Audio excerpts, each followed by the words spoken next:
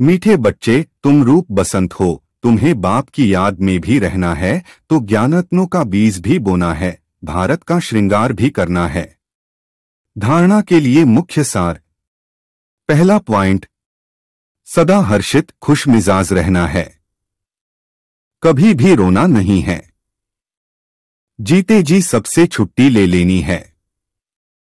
दूसरा पॉइंट, अपने शांति स्वधर्म में स्थित रहना है। ज्ञान और योग से तीखा जाना है। ध्यान की आश नहीं रखनी है। आज का वरदान, यथार्थ श्रेष्ठ हैंडलिंग द्वारा सर्व की दुआएँ प्राप्त करने वाले सर्व के स्नेही भव।